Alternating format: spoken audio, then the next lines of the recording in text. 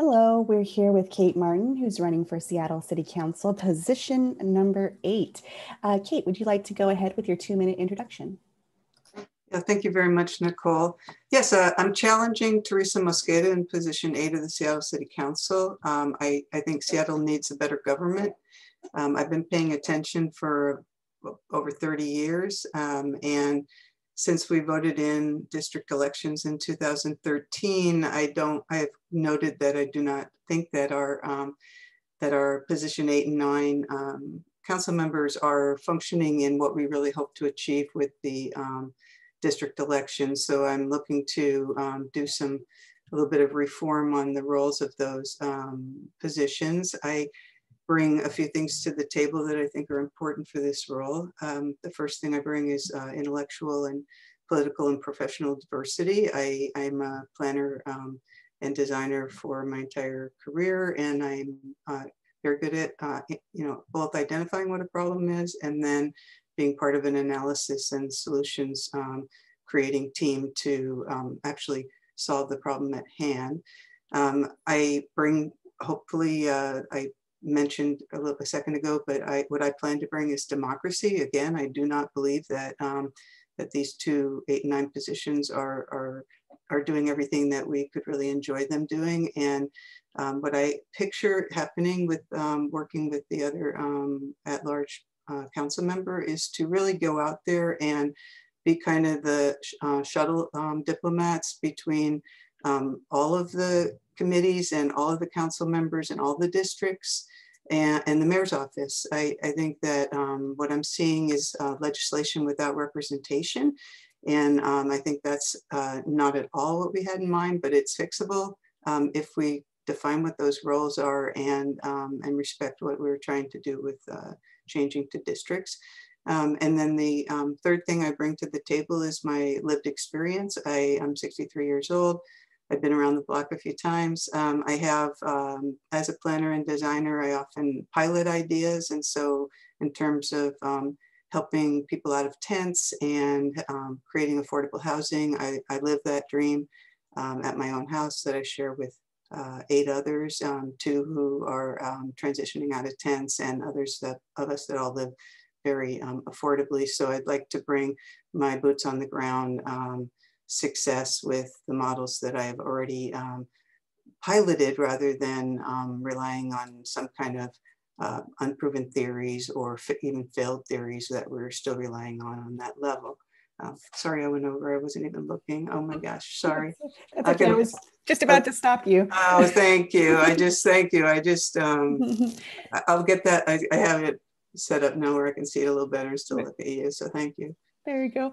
Um, so now we're going to move into the uh, first of the four prepared questions. The responses to these, again, are two minutes apiece. And uh, Layla, would you like to go ahead? What specific actions will you take to address the homelessness crisis in Seattle, both in the short term and long term?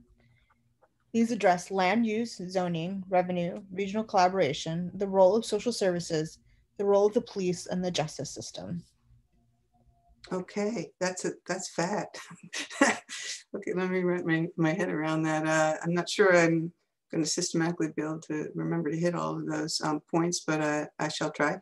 Um, yeah, so I, I like to um, really take a look at what we're, um, again, I'm like, what is what is the problem we're trying to solve? And it's easy to say, homelessness and then go into we need to rezone the whole city and and that's all going to work but we, we've already been around that block and um, that's not exactly the problem we're looking to solve. What we're dealing with um, i'm out every saturday working cleaning um, tidying up at encampments meeting people and obviously i'm bringing some of them home um, to transition them um, and i i think what we're missing is um, the people that are um, suffering in the tents are largely um, schizophrenics and um, people with bipolar so bad that they can't um, really function um, in, uh, in jobs and normal things like that. They wind up living in cars and tents. Um, I think, you know, 40 years ago, we had in our state 7,000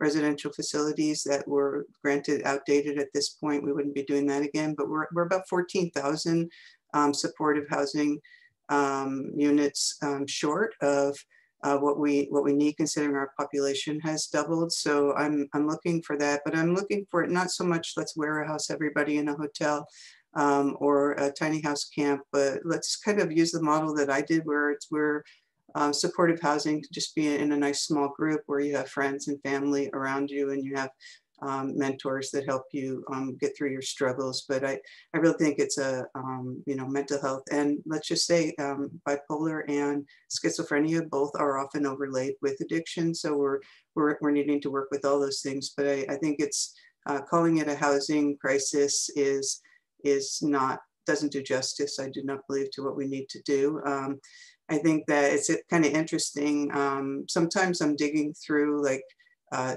you know, two feet deep garbage, um, needles, rats, all of that kind of thing in the encampments. I, I think that it's um, this whole idea of, uh, you know, harm reduction uh, is, is a false premise because the people are throwing bags of needles, but they're not asking anybody if they need help. They're not picking up the old needles. They're not helping clean up garbage. Um, public health has um, a lot of um, work to do. And so um, myself, I, I want to get down to what the problem is, what I see on the ground every week when I'm out working, what I hear from the um, people that I'm helping with housing. And, and I think that uh, th that way we're going to get to a solution. I'm sorry again. Thank I don't you. have my timer going. That's okay. You could just hold your finger up, um, right. just just just like one to something. I don't know. Yeah. Just I don't mess you up. That's fine. Uh, let's see. Let's go into question number two, and I believe I had. Uh, Katie, Get me. Katie, go ahead. Yeah. Um, what is your strategy for creating dense and diverse neighborhoods and assuring affordable housing? How would you work to dismantle systemic racist arrangements, redlining, including but not limited to exclusionary zoning and land use policies? Do you support and would you sponsor city legislation to end single family zoning as Berkeley, California recently did? Um, thank you for that. I'll start my timer. Um, I, I, guess, uh, again, I have to go back to say what problem are we trying to solve? We've done a lot of rezoning in Seattle. I call it, um, you know, basically develop, developer-oriented density. We, we had this battle cry, housing for all. We did all this rezoning, but honestly, um, it, it's not, um, it's not what we actually need to do. What I want to do is single family zoning. And again, I live in a single family zone. We have like so many dwellers per acre in my home. It's a model that I believe in. We still have plenty of, it's a bucolic setting. We've got a lovely garden. We've got plenty of space for each other. So what I see um, as a really productive direction, again, I'm a planner and a designer, so this is kind of my bailiwick, is to um, reframe single family housing and rename it to sustainable families and groups.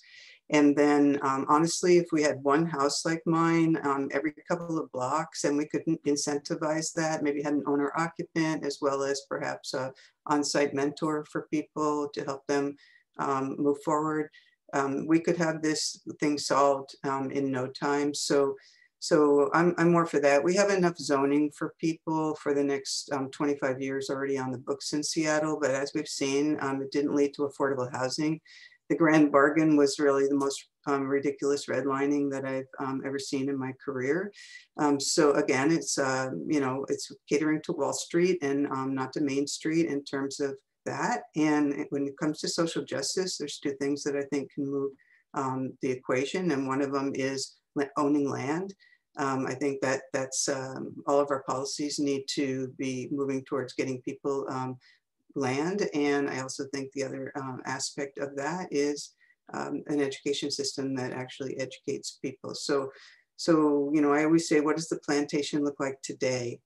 You know, we can talk about what redlining was and think, what does it look like today? How can we solve it today and what we're seeing on the ground today?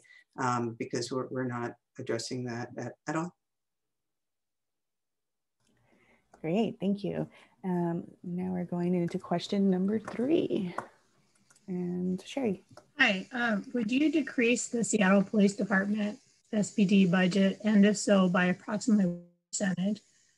And what is your plan for the Seattle, for the city's SPOG negotiations?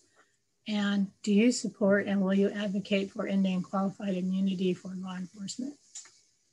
Okay, so we're talking about whether I support defund and we're talking about whether I support um, qualified immunity or not. And what was the third one? With the Seattle Police Officers Guild negotiations, what's your plan for the negotiations? Okay, so um, let's see, get my timer back up. So I don't, uh, my timer's out. Just sorry. Um, yeah, so the defund the police, um, it, never really made sense to me because um, I'm a, I'm not a, um, more of a course corrections person, and so I think it's um, really, um, you know, reform um, police. I think we've made a lot of progress in um, in my lifetime, and so I'm always looking at the long view. What more can we do? So um, defunding the police, uh, no. I, I, we all see what's happening with crime and how um, you know every single moment of every single day there's something going on where people need help from the police. I think to a certain extent we've um, scapegoated the public safety system um, again by not providing um, for the mentally ill and addicted and, um, and then just acting like um, the police are gonna somehow magically make that happen. I think we need um, to address the mental illness and addiction and we need to have an awesome police force. So um, again, reforming what that looks like is, uh, is awesome. Defunding, um, no. So, uh, you know, even in my little uh, neck of the woods right here, I, have needed to call the police when one of my um, housemates had a mental breakdown and pulled a gun and a knife on me. And they, they responded so beautifully and they were so kind to the person who was having the breakdown and no one got hurt and I, I was proud of my police force. So, so I'm not a cop hater or, you know, like uh, all cops are bastards or any of that kind of um, thing. I treat people, you know, um, on an individual basis. Um, you know, SPOG is a is a um, you know an, a very strong um, organization. Um, however, in the conversations I've had so far, um, with Mike Solan and, um, and that I would continue to have as a council member. I feel like we communicate well and um, we have very reasonable exchange of ideas. Um, so I'm, I'm feeling very positive about um, being able to have um, an awesome relationship with the police force that's not adversarial or not like, you know, let's spit on the cops or throw urine at them or everything that's happening out there to those men and women um, on the force. And, you know, I, I, I, I think um, we've come a long way with, um, you know, things that with qualified immunity. I, I, I would like to do away with that. And I, I think that that can be, um, we can negotiate that to, to happen. Um, and there's lots of other um, changes we need to make as well. But I, I feel like, you know, course corrections, we don't need a revolution. We don't need to have, no public safety. So, so you know, that's the kind of person that you can expect me to be on the council. Great, thank you. Um, and question number four. Uh, how will you prioritize transportation infrastructure for biking, pedestrians, public transit, commercial vehicles, and cars? Which do you view as most important to prioritize funds for? Yeah, that's a great question, and thank you for it. So in 2009, I did a study, a large neighborhood matching fund project study where I figured out how we could finish the sidewalk infrastructure.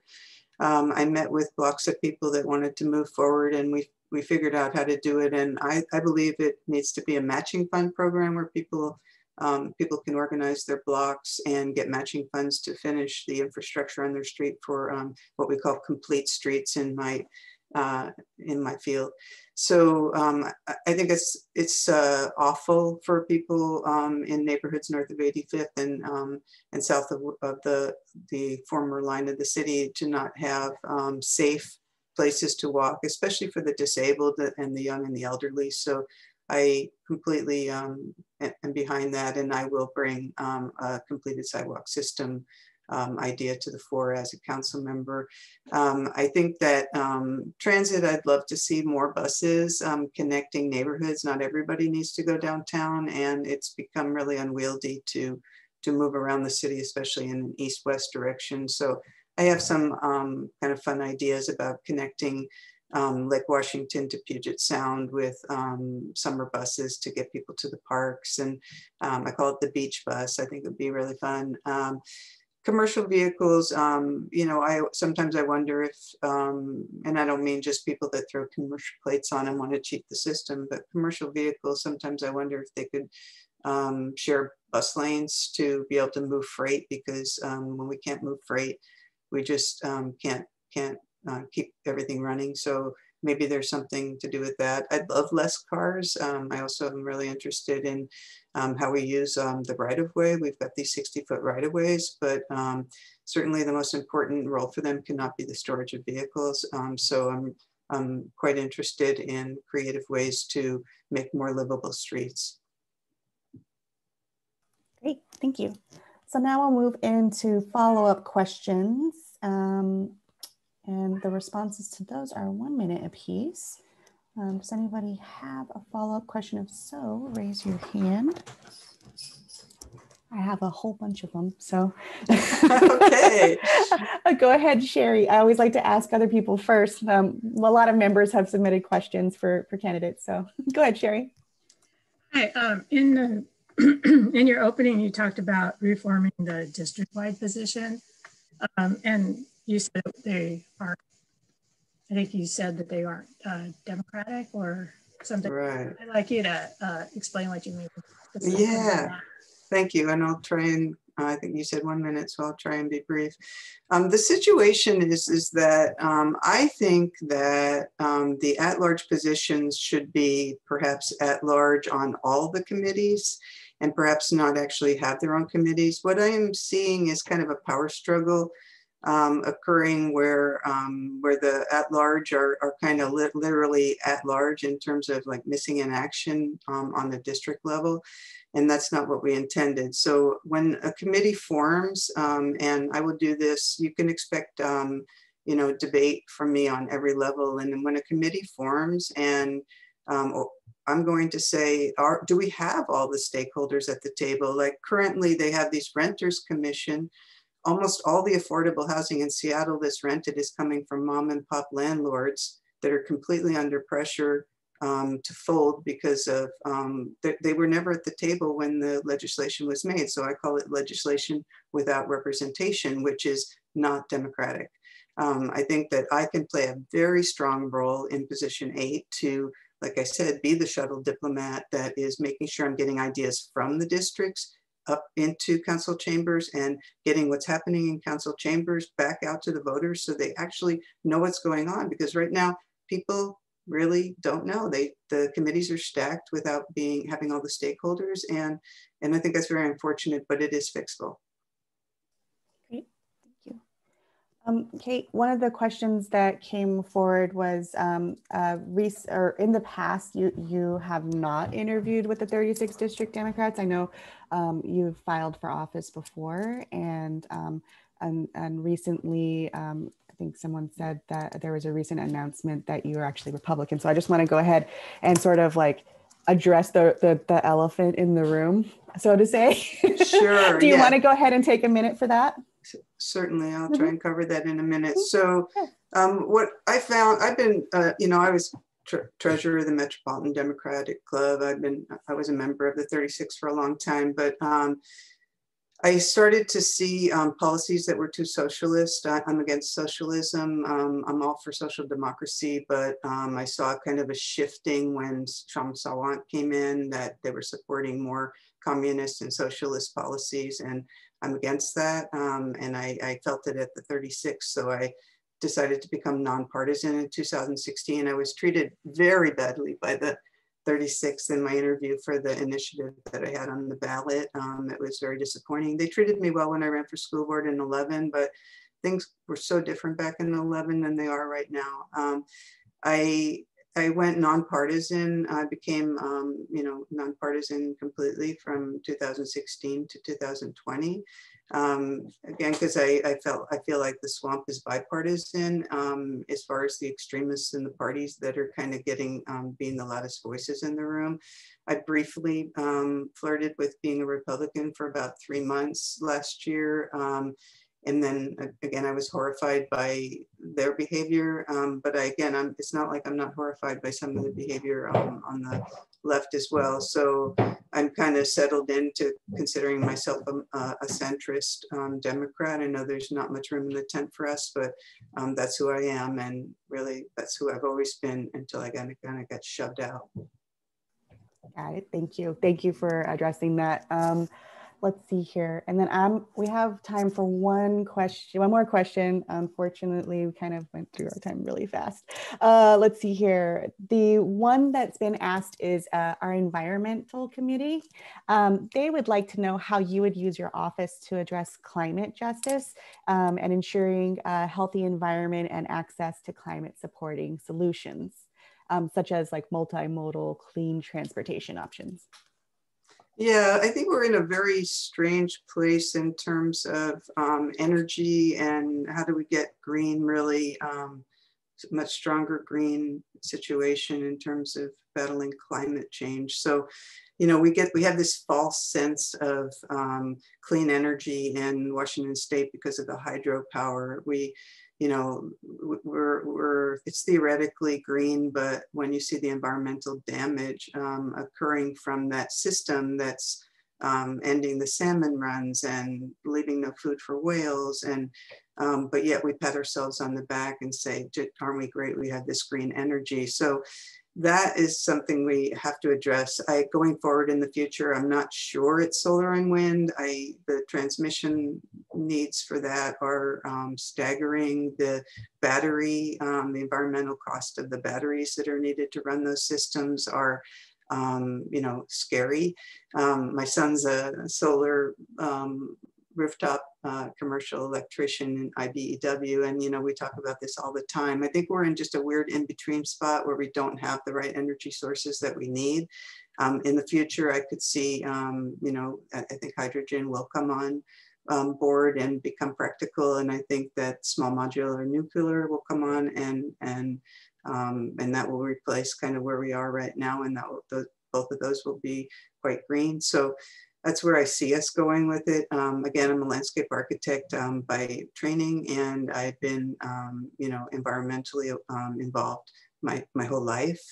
Um, so I, you can expect me to, um, again, uh, bring the debate to the table, not just toe, the, toe whatever line is being presented so we can make real long-term systemic change to bring a greener future and to halt the rate of climate change that we're experiencing. Great, thank you so much. And with that, we're gonna go ahead and ask you for a one minute wrap up. Okay, so thank you for this interview. These are great questions and I feel like we've got to cover um, a number of things. Um, again, I'm looking to bring um, intellectual diversity and um, political diversity um, and other kinds of diversity to the council so that we can we can have meaningful um, debates. I've been you know, kind of a, a, policy wonk pretty much my entire life. And I have uh, the, um, you know, content knowledge to be useful um, on the council to bring us uh, ideas that work. Um, you know, I, I, I, I want to bring us that democracy that we wanted um, when we voted in district elections. And again, we argued over with these two at large, should we have them, should we not have them? Um, so we have them, but they're not working properly. So um, I'm going to bring that. And then I've got these 63 years of lived experience that, um, that, that, that I think is quite valuable. You know, the French say, if you're not a communist when you're 20, there's something wrong with you. If you're still a communist when you're 30, there's something wrong with you. And so I think we're, we're kind of need to balance, um, you know, experience a little bit in that equation so that we're just not all caught up in the 20 to 30 um, viewpoint. Um, and I respect the 20 to 30s, but I think we have to balance that. And um, I'm going to bring that balance to the table. If you want to learn more about the things that I care about, um, the seattlejournal.com is a magazine that I curate articles. I write a few of them, but mostly I curate from other sources. You can learn about what's important to me. Um, my website, electkatemartin.com, has my positions on um, all of the big issues in very brief format. So um, you can check that out. My telephone number is 206 579 3703. I pick up, and I'm very interested in, um, in having as many conversations as possible to form my um, positions and opinions. So I look forward to hearing from people in the 36th. I live right here in the 36th, and I, um, I can't wait to talk to you. So thank you for this opportunity this morning. Um, I appreciate it, and, and uh, great for you. Thank you so much. And I'm going to stop this recording.